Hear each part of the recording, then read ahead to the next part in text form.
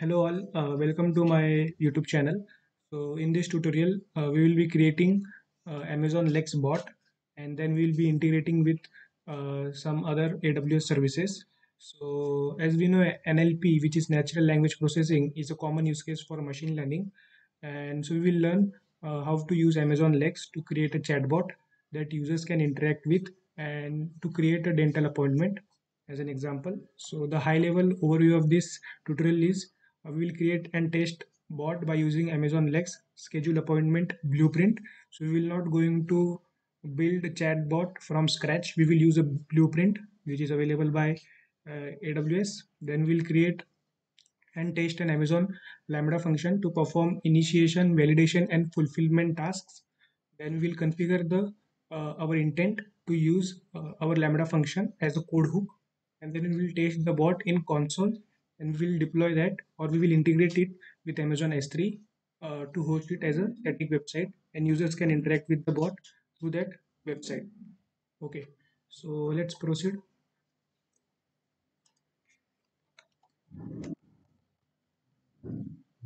So first of all, we have to create and test bot locally or on console. So now we are on Amazon Lex console and we will use uh, V1. So that is version one of the this service. So we will use this blueprint and then we have to configure some basic settings. Yes. so after that uh, we will test our bot so this is pre-built okay so I will also explain what this uh, all uh, features uh, that are there what does they mean? So for that we will go one by one. So first of all so the sample utterances means uh, the spoken or type phrases that invoke our intent. Okay then the second is uh, lambda initiation and validation. So basically this means the business logic it is required to validate uh, the user's input.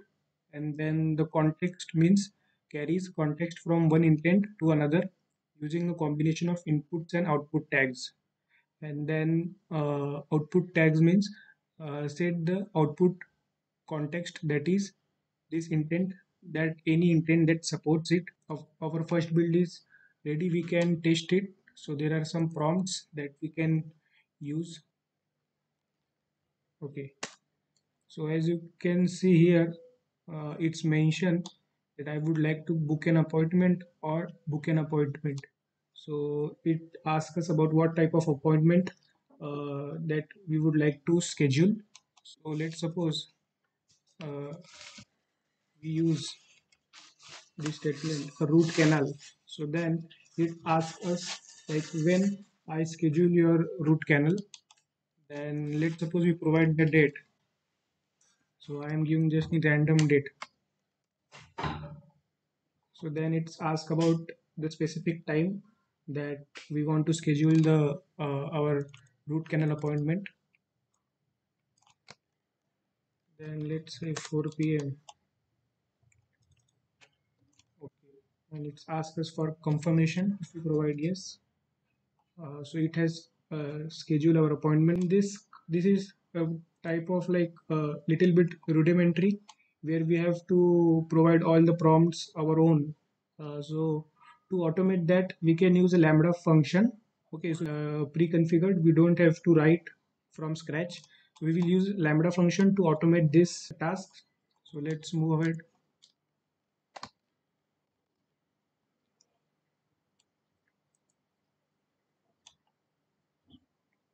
We will use a blueprint for that. And so let's create a function. So this lambda function will act as a hook. It will be triggered. Okay. We'll use a blueprint. And for that we can use lex. And we will use this one. Make an appointment with lex. And let's suppose give some name. And yes this is the name. And then uh, we have to configure an IAM role. So we will say we'll create a new role and we will give name as my next role. Okay. And yeah so this is the function that we get from this blueprint. Okay. And it automates all the prompts that I was giving manually. Okay. Yes. So now we will create this function. And once our function is ready so we will test it. Uh, then I will also show you the difference. And then we will update so the intent of our bot. Yeah so we will test first. And see so it succeeded. Okay it means we can use this uh, function. So yeah now uh, on this page uh, we have to integrate th that lambda function that we created with our uh, amazon lex bot. So we have to mention that here. Okay. And then uh, for fulfillment also we have to select lambda function. Okay. We have to save it save all the changes. And then we will again build the bot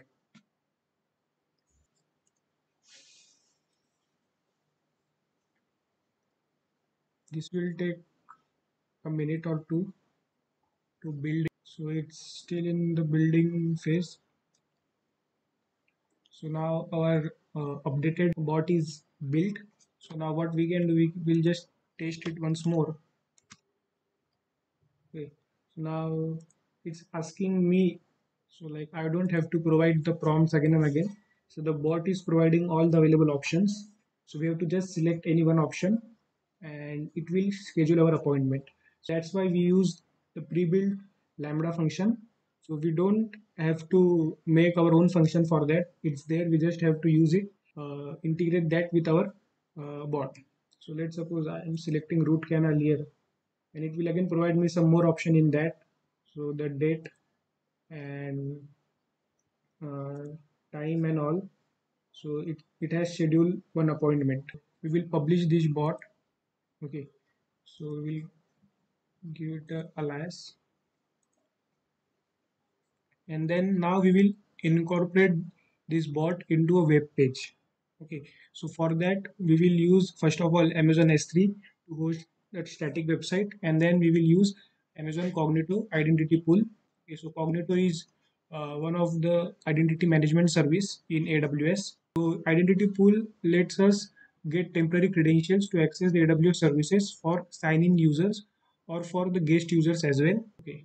So now once our bot is published we'll close this message and we'll search for cognito service. And yes. So we have to select the identity pools. We will create one identity pool we will select the guest access next. Then we will uh, we have to give a name for an IAM role. Okay. Then the name for our identity pool. Next. So again we have to make some changes in our one of IAM role our identity pool is created. And so in our uh, HTML code so we have to add this uh, identity pool ID in that. So to integrate it uh, with our website. Yes. So I, we will select the roles and in that we have to update my identity pool role. So we have to update that role. Okay so in that we have to select uh, two policies we have to add them. The first is amazon lex read only. Yeah so first is amazon lex read only and the second is amazon lex run bots only. So that uh, other aws services can uh, access uh, or let's say talk to each other. That's why we assign a role and give the uh, necessary permissions.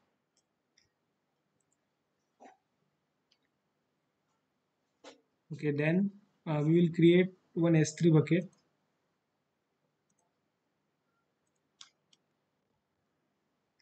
And in that we will upload two files first is uh, index.html and the second is error.html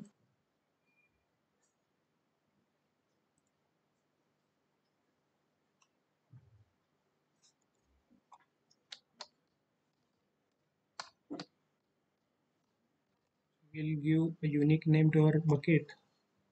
Then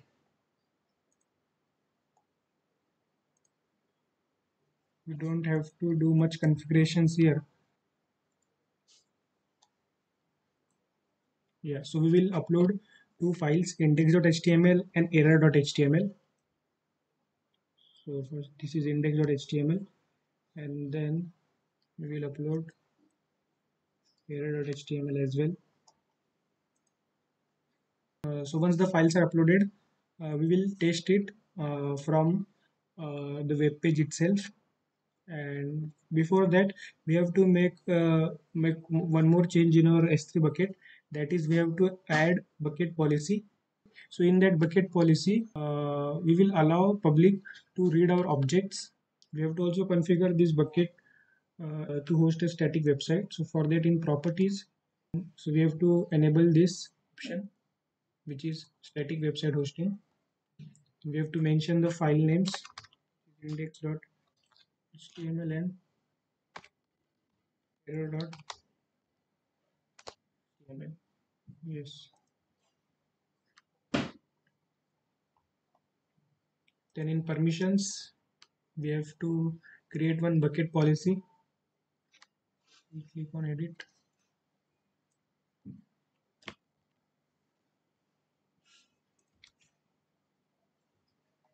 And here we have to provide our uh, s3 bucket name which is my lex tutorial.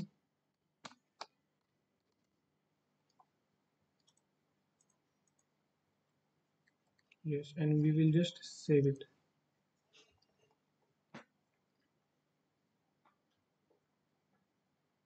After that we can uh, visit our static web page from the URL that is provided so now once we get our uh, static page URL from S3 we can test our bot uh, so let's suppose say make an appointment.